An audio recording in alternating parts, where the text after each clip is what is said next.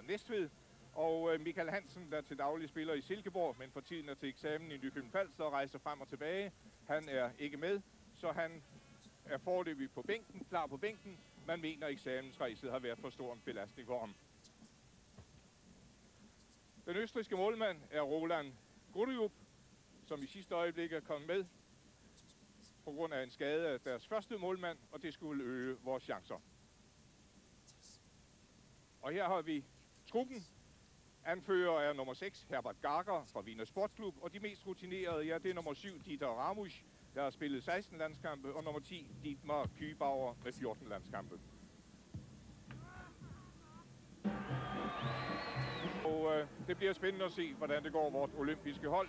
Den største fare ligger måske i, at vores spillere går for optimistisk til kampen her mod Østrig, der spiller i hvide trøjer og sorte bukser. Og østrigerne, ja, de vil sikkert spille defensivt, håbe på overrumplinger med hurtige kontraangreb.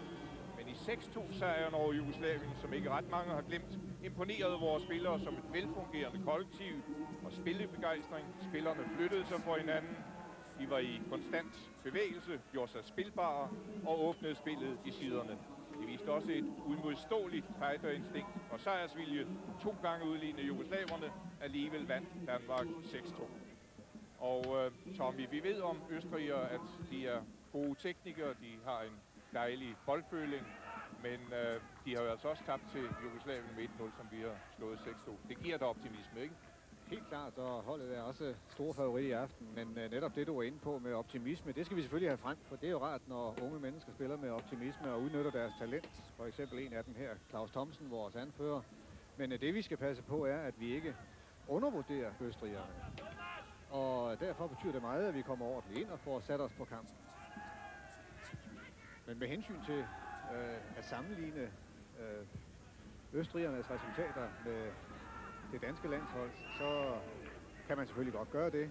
Øh, vi vandt. I det danske forsvar glæde i på den østrigske udskiftningsbænk.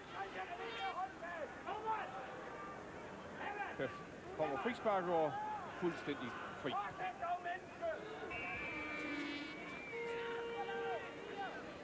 Hvor to frontløbere, som jeg var ved at sige, Peter Møller med 11 og Niklas Molner med nummer 9, holdes i et jerngreb af to meget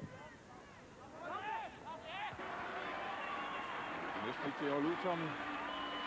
Nej, hvordan Per, det hvordan nu. Per har det? Lad os se. Lad os se.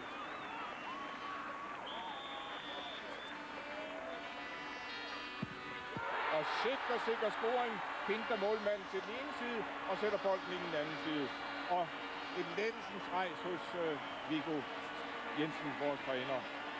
Dejligt, dejligt. Jeg synes bestemt, vi har fortjent det. Presset og presset. Her ser vi det gentaget. Pinter så sikrer sikker scoren til 1-1. Endelig, endelig, endelig. Kvartfinalen. Og øh, med chance for at komme videre til de olympiske.